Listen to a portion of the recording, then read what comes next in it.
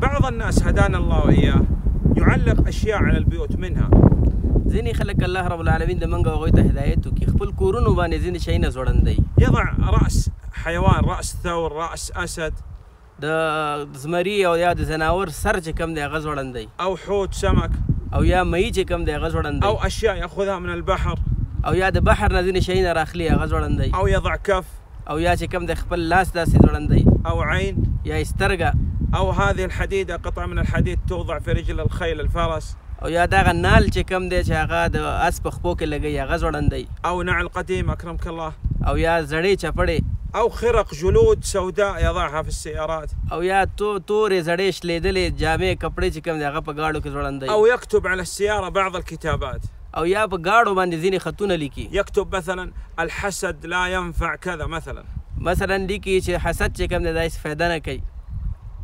لماذا تضع هذه الأشياء؟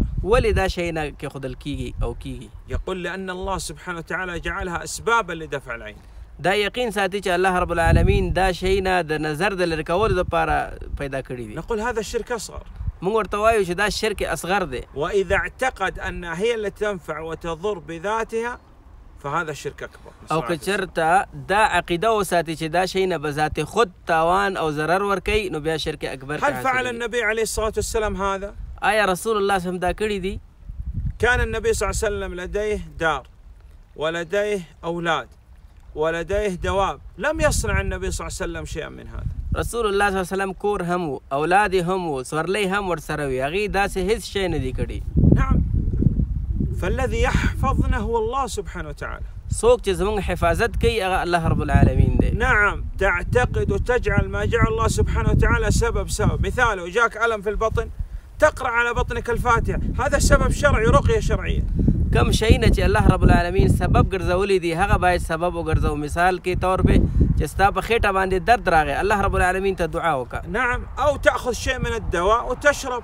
أو یا ځینې دوا راواخله هغه اخره تأخذ عسل. شهد واخله وتشرب العسل. أو ویسکه فيه شفاء بإذن الله. کې د الله په حکم سره شفا ده. أما أن تضع العسل يعني عندك في البيت دون أن تستخدم العسل هذا ما ينفع. أو دا شات راوالی أو اسې د کور کې د ایښي أو استعمالی نه نو د هغه هېڅ فایده نه کوي إذا لابد أن ننتبه من تعليق هذه الأشياء فهي إما من الشرك الأصغر أو من الشرك الأكبر والله أعلم. لازمي خبره ده چې مونږ دې شی نو ته متوجه شو یا دا مونږ په شرک اصغر کې واقع کوي او یا په شرک اکبر کې واقع کوي الله اعلم